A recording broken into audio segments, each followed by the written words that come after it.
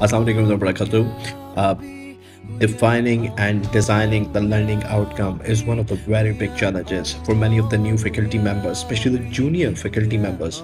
So, um, one of the reasons is because they lack the basic knowledge of the basic taxonomies of uh, you know educational policies um, basic um, theory of different uh, you know domains like psychomotor domain uh, cognitive domain affective domain. So i'm showing you here one of the very easy tool which could be still useful for the newcomers uh, but yes for sure it has some loophole but still it is better than uh, you know not bringing in the learning outcomes. You can still design and you can plan your own learning outcomes. So stay tuned so what you have to do you have to go to this website which is under northwest msu university and this is the hyperlink of this website which is site.missouri.edu and then you got canvas enhancements learning outcome generator slash index html so you can just google it or you can just bookmark it once. So this is how it looks like. So what you guys have to do you have to just go and you have to click start once you start here you're going to pick the option of what knowledge or skills will the student want to learn.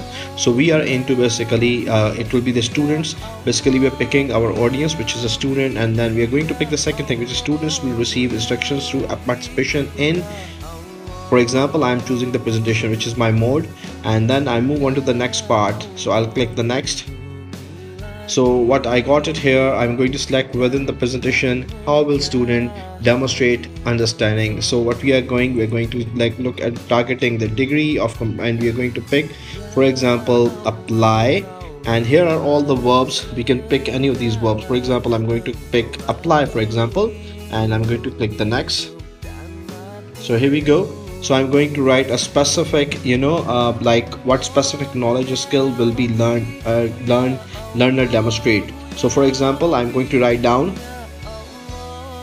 i'm going to write down knowledge of disease at cellular level. So let me just correct it at the cellular level. So that i'm just going to click generate. So here we go. I'm going to generate it and see how the learning outcome so the, our learning outcome is at the conclusion of this presentation student will be able to apply knowledge of disease at the cell level. So it's a very good tool. Please make sure whenever you're making your lectures please make use of this very beautiful tool. And please for your all lectures please define your learning outcomes. One of the very important stuff which many of the people many of the uh, many of the lecturers basically and the faculty member they lack. So please make use of this website again.